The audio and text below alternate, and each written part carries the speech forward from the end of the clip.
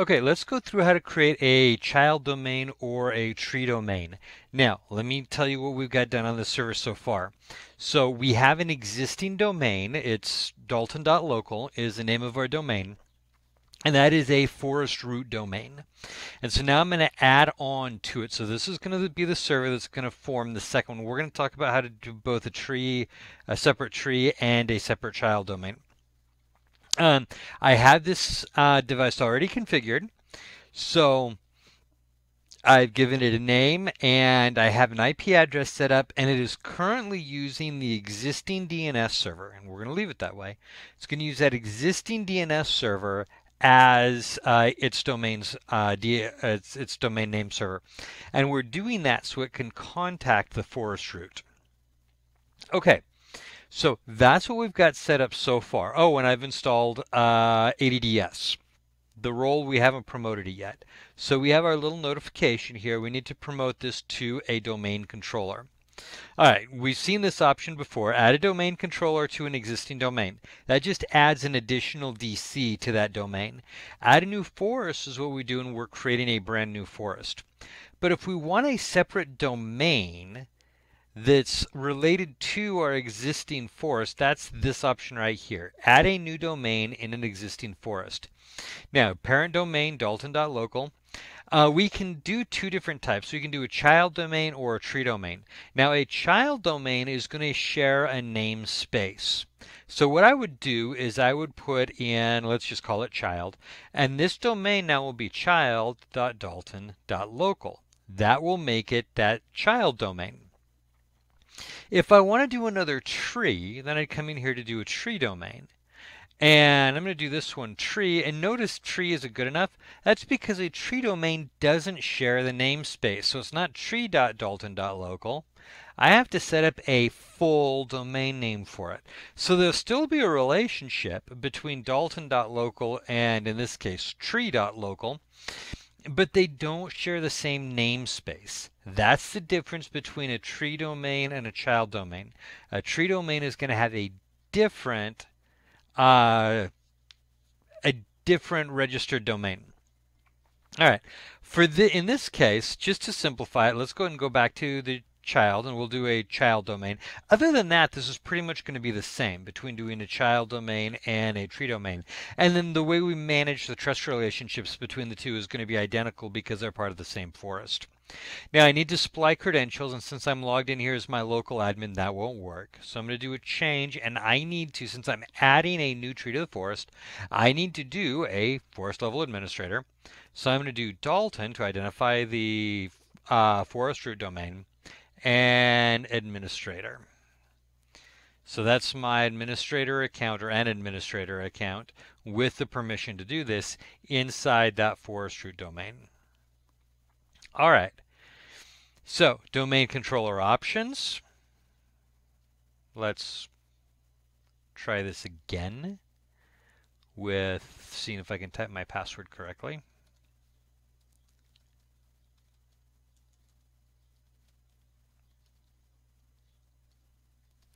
Okay.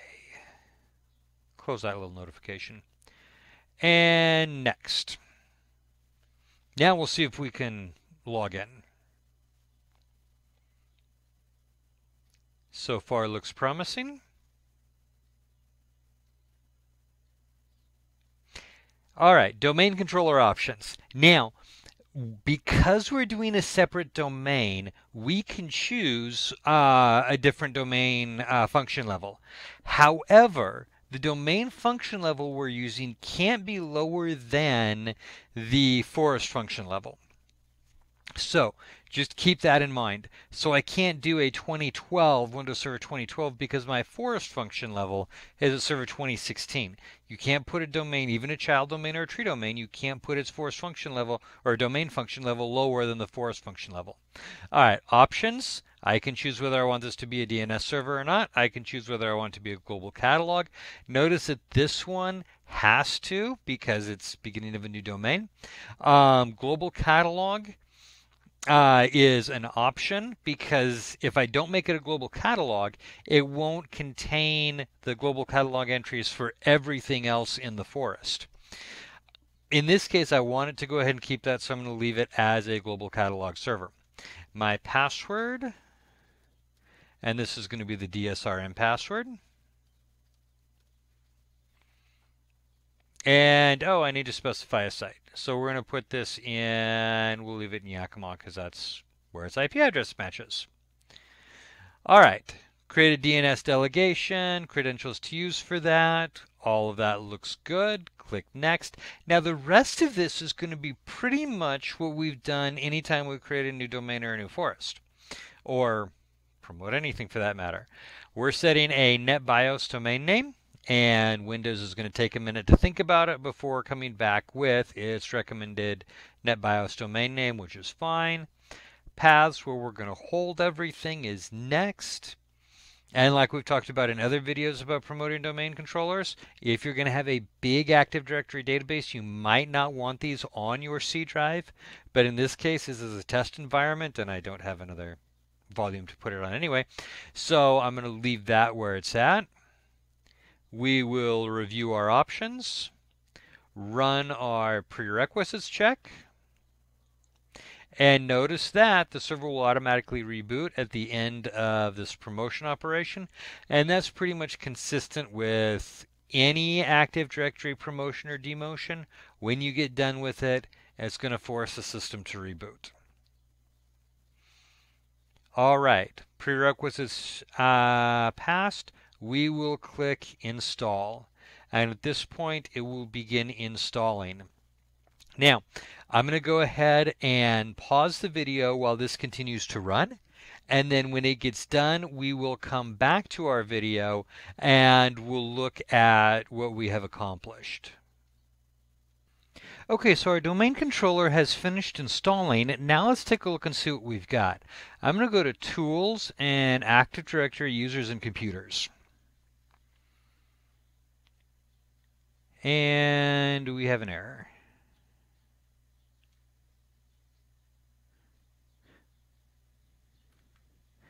And the reason we have an error is because it's trying to contact the old domain. Okay, so I'm going to change domain and I am going to connect to child.dalton.local. And I still have an error. There we go. All right. Give it a second. It'll get there. All right, so now that I've got two domains, I need to think this through.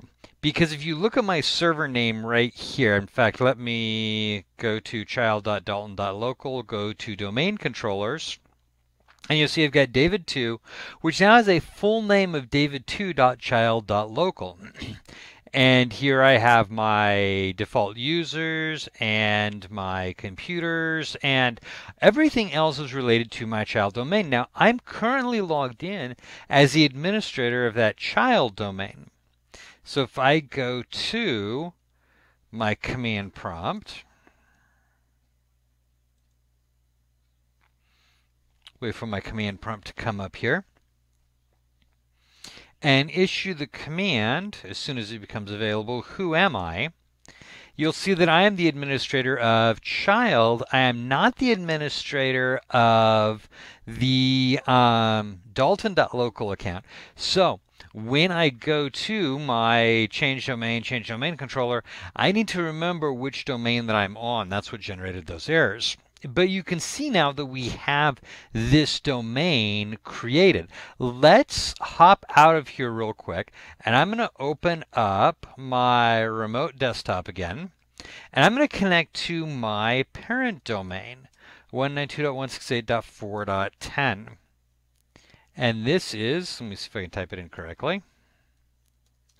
So this is my parent domain or my forest domain uh, domain controller. So from here, let's wait for Server Manager to load for us.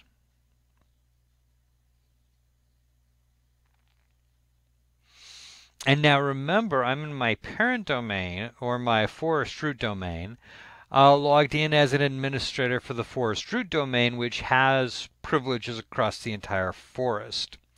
So if I go to It'll take a second because it's still loading Server Manager here. Tools, Active Directory Users and Computers. Let's see what we have here. So here I have my Dalton.local with all the stuff that I'm used to seeing. I can also, oh, notice when I come up here, it tells me my domain controller is david.dalton.local. So I can also change domain here and let me connect to child.dalton.local. And hit OK. Now, again, we're going to have security issues. Um, primarily in this case, I think because we have uh, DNS related issues. Because I haven't set up my DNS to handle name resolution. Because this thing is only resolving to its own uh, DNS server. It's only using itself as a DNS server. So when you're working with multiple domains, remember you're going to need to resolve that. So you're going to need to have them all working off the same DNS server, which has uh, records for all of your domains. Or you're going to need to do um, forwarders to forward requests to the other domain controllers. So that takes you real quick through the process of um, promoting a contr- domain controller, creating a child domain or a tree domain. Just remember that when you do so, you got to resolve the DNS information as well. So, um, We'll go ahead and close this one out. This also, because we now have multiple domains uh, in play, we can now look at trust relationships, but we're going to do that on a subsequent video.